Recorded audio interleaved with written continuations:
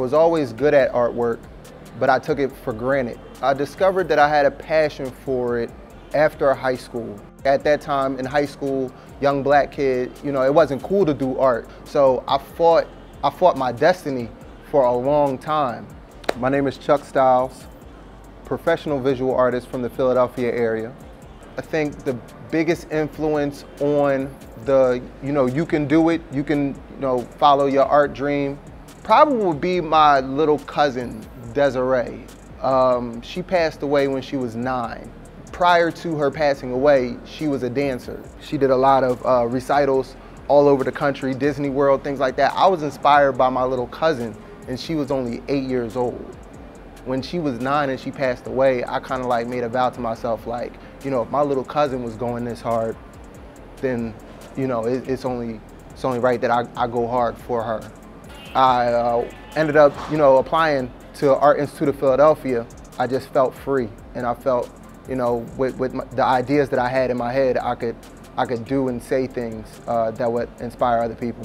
One thing that I love about Philly is that we breed creative as people, like music, visual arts, design. The, the reason why I chose to do this interview here in Rec Philly was because I've, I've watched them from a distance starting out, providing a place and opportunity for Philadelphia creatives.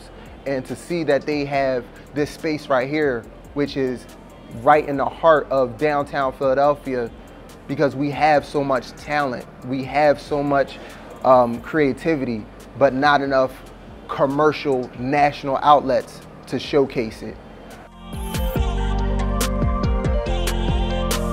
Uh, for those of you that don't know, Damari Savile is owned by um, Philadelphia Eagles um, pro athlete Malcolm Jenkins. Malcolm is a dope dude, man. Like, you know, when I started learning about the things that he did off the off the field as well, like I said, I, I, I back anybody or any brand that like really promotes positivity or um, or, or, or, just um, justice in a sense. Um, and so I think that my pieces are a, a reflection of Malcolm Jenkins' uh, beliefs and what he stands for. And I, I do primarily a lot of uh, uplifting black art. Uh, a lot of people see, you know, themselves in my artwork. They see black excellence. They see a, a, a, a new twist on things that they have maybe seen before. And I think that those pieces really sit in Damari well because they bring good conversation. If I had to give a message to a younger me um, that's struggling to find what they want to do or they have doubts or other people kind of doubt them, I'd say, fuck them.